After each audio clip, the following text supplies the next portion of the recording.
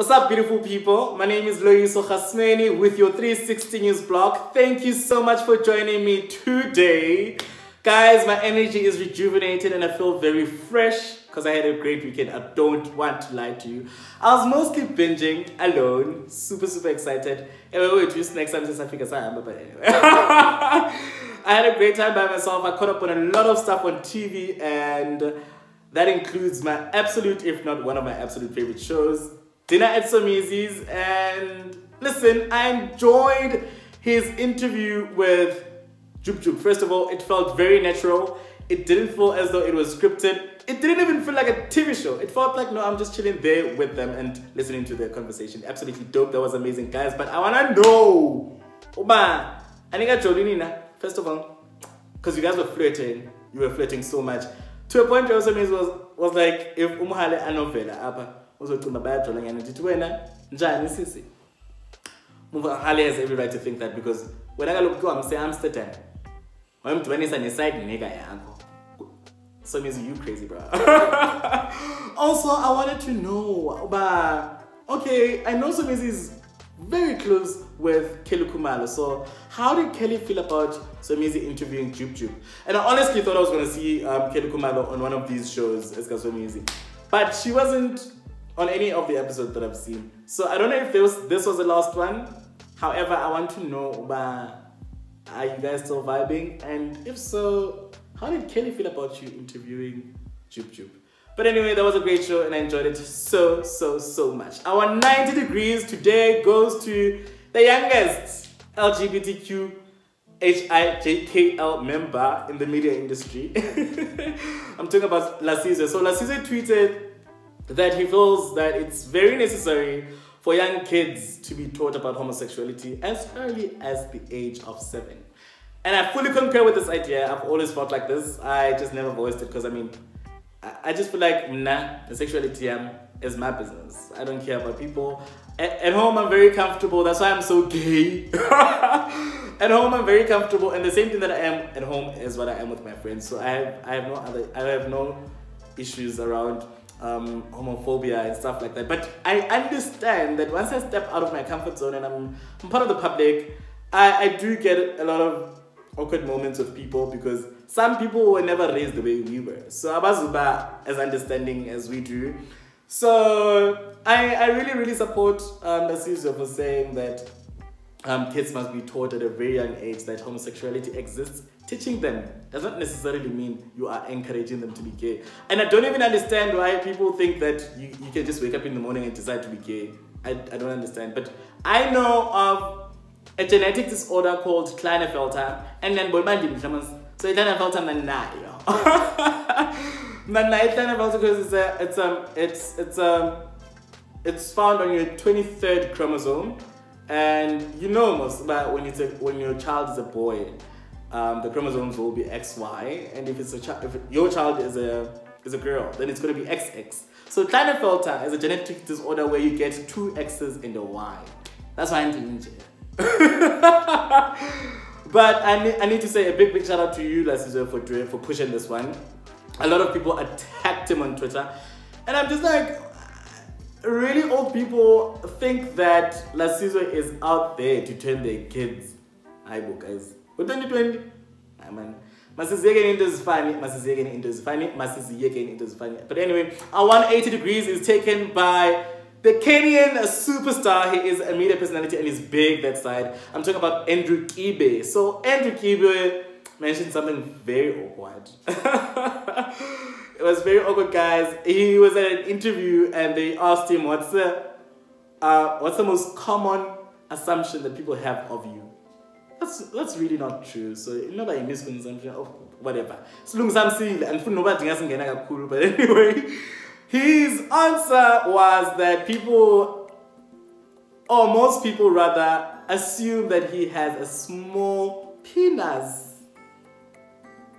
I was like, However, guys, first of all, he's Kenyan. Secondly, he's tall, dark, and handsome. So now, you know that black people in the north, the north have, you know, most of them are gifted. Come on, we know this.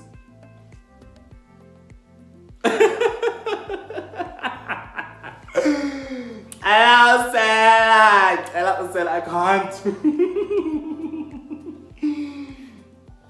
Guys, he went as far as saying he doesn't have to prove a point. Obayena unayo. But yeah, that's that's the, the, that's the most common thing that's that's been said about him. But I'm like, is this said because your girlfriends or your exes are the ones spreading this information? Or people are just generally jealous of you and yes, and yes, and yes, and yes. But Andrew is, is a, he's a great guy, man. I don't think he's a small one. Uh, it would be such a disappointment, a, a disgrace for a man that big to have a small crotch. Ah, ah. Why is like I no prove point? I'm like, prove it! You can use me. Use me all you want to prove that point. oh my god! And we yeah. Anyway, our 270 degrees is taken by Sofia. Sofia Richie. If ungamazi Sofia Richie, ngumntana ka Lionel Richie. If you don't know Lionel Richie, then you're probably too young. Okay, andikwazi because I mean his most popular song is I Call It Love. Absolutely beautiful. So he has a lot of stuff. A lot of kids. Uh, I know Nicole is adopted, and I didn't know that most of his kids are gonna look white. But he's, I mean, he's married to a white lady, so uh, genetically that's a given.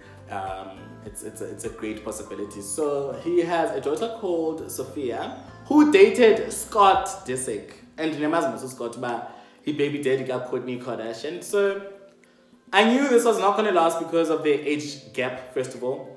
Secondly, oh, Lamdana, who's this? Kourtney. Kourtney seems like she doesn't want to be married to Scott because she, she knows deep down that Scott is crazy. However, she also doesn't want Scott to be with somebody else. I just don't understand. I'm like, phofikona no. Omba, lo bhuti andimfuni for mna ne cha xa ke nojola nomnye ndingadikwa it's absolute jealousy. But anyway, um, she.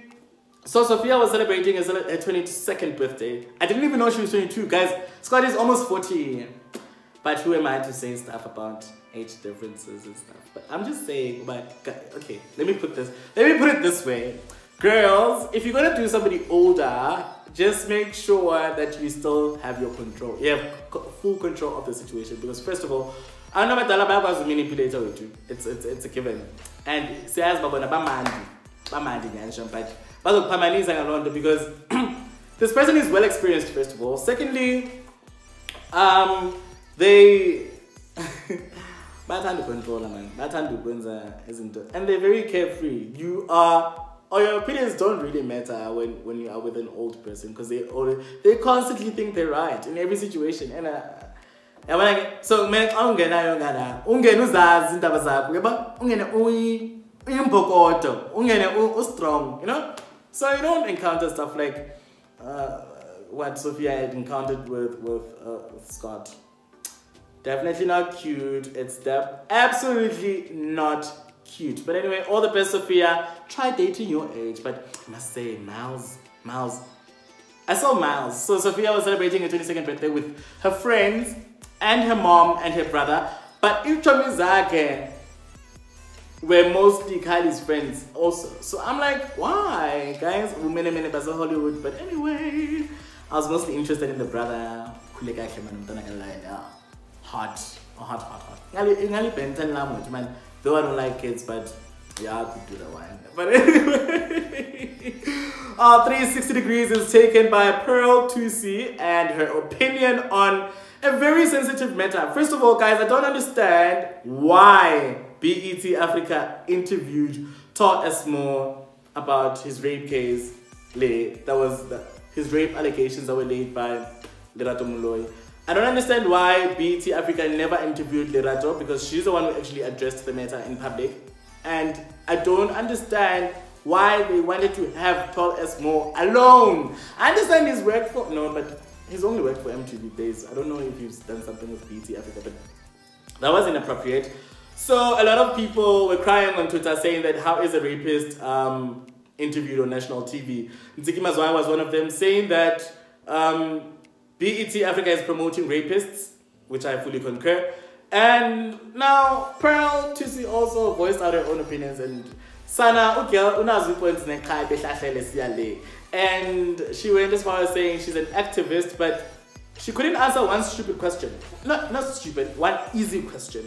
Somebody was like, okay, Pearl, imagine you having to watch TV and see the man who raped you on national TV sitting there comfortably talking about talking about you as though you are tripping, yet you're going through such yet you went through that that traumatic experience. So Pearl couldn't even answer that girl. I was like, Pearl, now ezinye izinto xa uzithethayo you don't sound like an activist just like you said on, on Twitter. She was like, she's an activist. I'm like, how? You don't sound like one. You sound like a supporter.